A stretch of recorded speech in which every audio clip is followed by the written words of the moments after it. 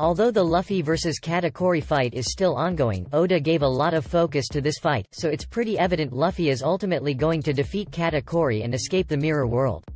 But I'm more interested in discussing the parallels in Luffy vs Katakuri fight with Luffy vs Cracker fight, and also point out some contradictions in the manga. In both fights, Luffy without Gear 4 is getting beaten in a one-sided manner by both Sweet Commanders, and Luffy himself recognized his opponents are strong and must be surpassed. In Cracker's case, it's overcoming strong armament haki. In Katakuri's case, it's overcoming strong observation haki. But despite the specific claims stated by Fodder that Katakuri is the strongest of Sweet Commanders and has the highest bounty, I actually think evidence points out to the opposite, and that Cracker could in fact be stronger than Katakuri. To explain why, take a look at what happened in both fights. In Luffy vs Cracker, Luffy was getting badly outmatched in G2 and G3 by Cracker in Biscuit Soldier form. Only when Luffy used G4 did he destroy the Biscuit Soldier and force Cracker to reveal his true identity.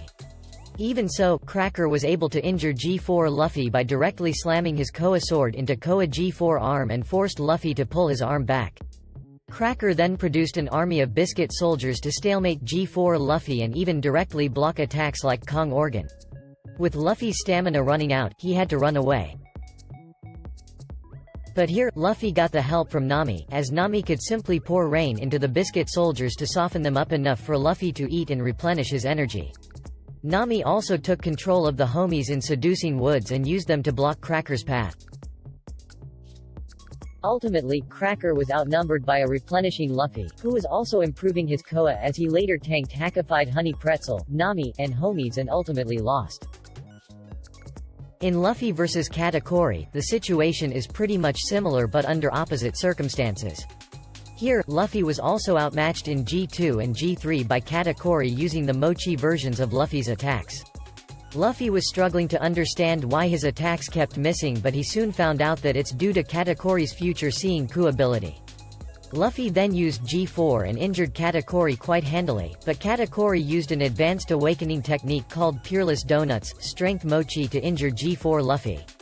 Luffy then retreated by using Brûlé, and thought about ways to improve his Ku to match that of Katakuri's.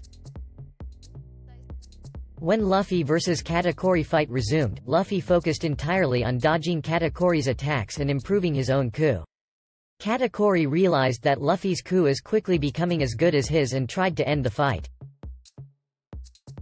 Unfortunately, Katakuri's attacks kept missing even though Luffy wasn't even using G4 and was simply dodging.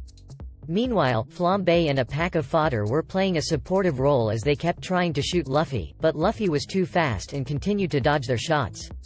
Sadly, just when Luffy was about to get up from Katakuri's attack, Flambe and the fodder shot Luffy's leg, and Luffy got hit by Katakuri's Mochi pounding spear attack even though the same attack failed to land previously. Here, Luffy is completely outnumbered by Katakuri, Flambe, fodder, other siblings etc.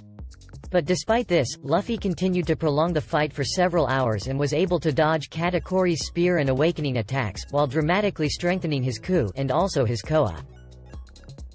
The main point is this, in Luffy vs Cracker, Cracker was outnumbered by Luffy, Nami and homies and still prolonged the fight to 11 hours before losing. In Luffy vs Katakuri, Luffy is outnumbered by Katakuri, Flambe, additional siblings and fodder, and still prolonged the fight to at least 8 hours by himself without anyone supporting him. So, the situational factors involved actually show Katakuri might be weaker than Cracker, because Katakuri has support in his side but will still lose, while Cracker was completely outnumbered but still fought for hours. This directly contradicts the manga statement that Katakuri is the strongest of the Sweet Commanders, and further illustrates why Cracker is an underrated Sweet Commander. What are your thoughts? Asterisk Theory by Apple Cider